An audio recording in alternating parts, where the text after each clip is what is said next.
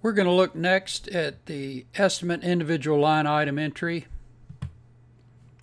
We can go to a section individually at one of these buttons, or we can go to the whole estimate by clicking this button here and then flipping through the various sections. This can be seen right here.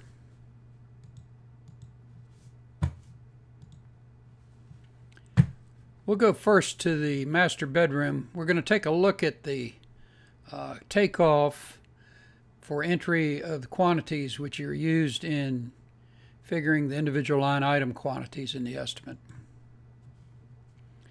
We've got a room here 14 by 12 by 8 feet high with a slope ceiling going up to 9 feet. We want to just show you what would be done to enter uh, a little bump off that room. Let's say there's an 8 by uh, 4 extension along the length of the room. We would click the add button. We're going to offset from the length. We've also got the option of offsetting from the width or insetting.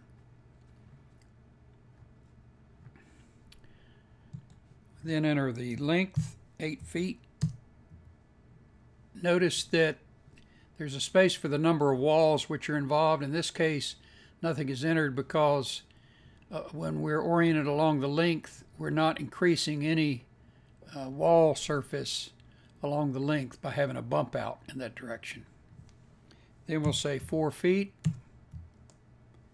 and just eight feet tall. We'll say it's a flat ceiling. In the case of a flat ceiling, there's no need to enter any slope.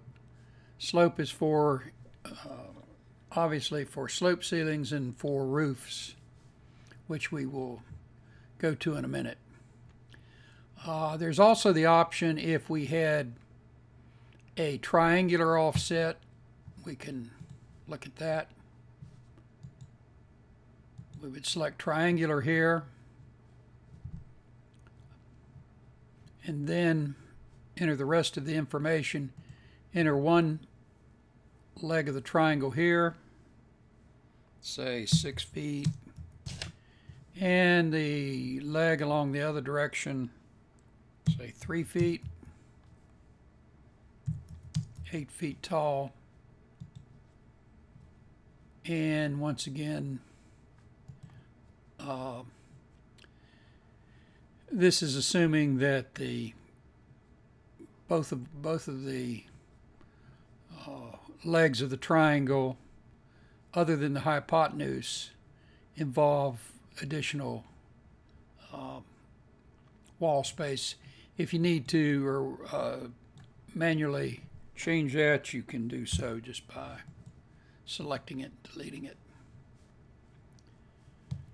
There's also the, uh, if we need to, we can enter elliptical area, say for a window, a bay window, or some such item, or say there's a gazebo on one corner of the room and it's uh, three quarters of a circle. In the case of a circle, both the length and the width will be the same, and the dimensions you enter the radius. So if we have a, let's say a little eating area which is, uh, say eight feet across, then we would put four. First of all, we'd want to enter three quarters for the size.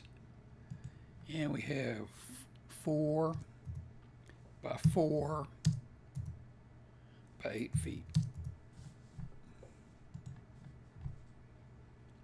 Uh, also, if there's a large window, then we want to take it off of the total amount of drywall. We select window. Let's say it is eight feet long and six feet tall. There's one of them. We'll enter a negative one because we wanted to subtract this amount from the total above. So we're going to subtract about 48 feet from the wall surface area, painting, drywall, etc. Say we have a door or a couple of doors.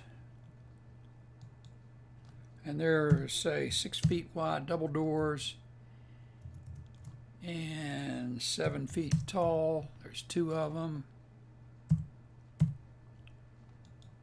Enter them as a negative, and it's going to take out 84 square feet of wall and 12 feet of baseboard when we do our computations. Once we get all this uh, entered, we hit the commit for estimate, and then these totals will be available in the uh, when we go to enter our uh, items for the room.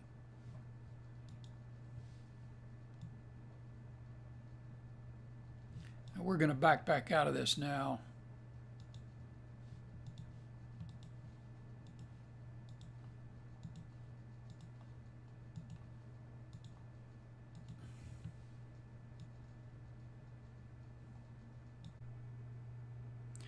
We'll go back now and take a look at the roof.